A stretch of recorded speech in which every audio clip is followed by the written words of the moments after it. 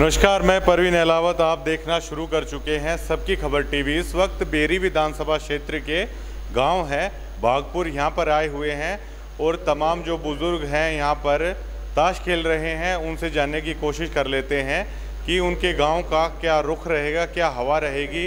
Congress, Inelo, JJP या BJP, उनसे जानने की कोशिश करते हैं। हो जाता है, ताशों में वैसे कोई नहीं, आप खेलते रहिए, आपसे पूछेंगे। हाँ जी हाँ जी ताऊ जी आप बताइए कि आपके गाँव का क्या रुख रहने वाला है? अभी तक जो हमारे गाँव के अंदर तकरीबन 2100 वोट हैं जिनमें जब तक कैंडिडेट नहीं उठाया है तब तक हमारे जो रेशो है यहाँ का वो 50 30 और 15 के अंदर बैलेंस अगर कैंडिडेट विक्रम का ध्यान हमारे गाँव से खड़ा होता है। तो उसका परसेंटेज बढ़ जाएगा क्योंकि गाँव का होने के नाते उसके फेवर में ज़्यादा वोट पड़ेंगे। तो उस हिसाब से जो वोट परसेंटेज होगा वो पैंसठ परसेंट बीजेपी को जाएगा तीस परसेंट कांग्रेस को और पाँच परसेंट बचे हुए जिसमें जजपा और इनेलो शामिल हैं। अभी तक का ये है। जी शुक्रिया शुक्रिया शुक्रिया। आप बताइए जी आपका क्या रुख रहेगा? आप किसको डालोगे? मैं तो बीजेपी की। बीजेपी की विक्रम कादयान की। हाँ जी आप बताइए कि क्या रुख है आपके गाँव का रहेगा? विक्रम को टिकट मिलती है तो नहीं मिलती है तो? किसी को मतलब मैं बीजेपी की वोट करूँगा। हाँ तक किस को मिल जाओ? जी जी जी जी। आप बताइए सर आपका रुख क्या है? बस राय वोट दूँगा मैं चौटाला की? हाँ, पक- इनेलो की? हाँ पक्का। कट्टर हो बिल्कुल। पक्का। कारण क्या है इतना? हैं?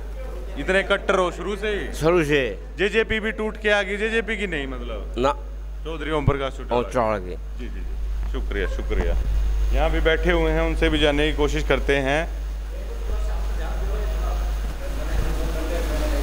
आप बताइए बाबूजी आपका क्या रुख रहेगा आपके गाँव का और आपका क्या वो है? बीजेपी कांग्रेस जेजेपी या इनेलो मैं बीजेपी की ज़्यादा वोट है हमारे की। विक्रम को टिकट मिलती है तो? और ज़्यादा है उससे। और ज़्यादा हो जाएगा। जी जी जी।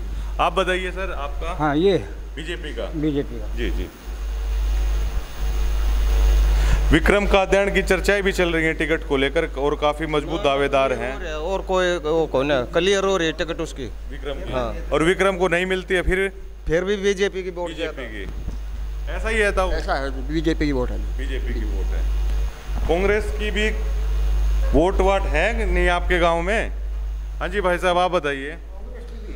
कांग्रेस के हैं भाई साहब तीस तीस परसेंट वोट हैं। वो डॉक्टर की है या दीपेंद्र हुडा भूपेंद्र हुडा के कारण है? ये हैं भाई साहब पर्सनली वोट भी हैं और दीपेंद्र का भी ज़्यादा का है। है। ठीक है जी। हाँ जी बाबूजी आप ये न्यू के न्यू है। ऐसे का ऐसा हाँ ऐसे का और विक्रम की संभावनाएँ काफ़ी ज़्यादा हैं जी चुनाव में लड़ने की। हाँ विक्रम फिर विक्रम की ज़्यादा वोट है। विक्रम की ज़्यादा वोट है। जी शुक्रिया शुक्रिया।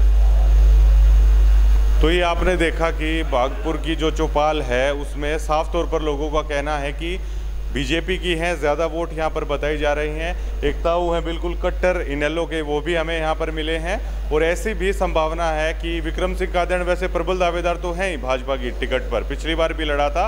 अगर विक्रम कादयान को टिकट मिल जाती है तो उसके बाद बागपुर गाँव में जो रेशो है, वो बहुत ज़्यादा बढ़ जाएगी। क्योंकि अगर गाँव से कोई उम्मीदवार आता है तो गाँव वालों का वैसे भी रुख होता है कि गाँव के उम्मीदवार को है, ज़्यादा से ज़्यादा वो अपना समर्थन दे। कांग्रेस की वोट भी है, लेकिन अगर कांग्रेस की वोट का परसेंटेज तब ज़्यादा बढ़ जाएगा अगर विक्रम को टिकट ना मिले तो। लेकिन संभावनाएँ उसकी टिकट को लेकर ज़्यादा है। तो बागपुर गाँव में पलड़ा है, वो भाजपा का ही भारी रहने वाला है। शुक्रिया।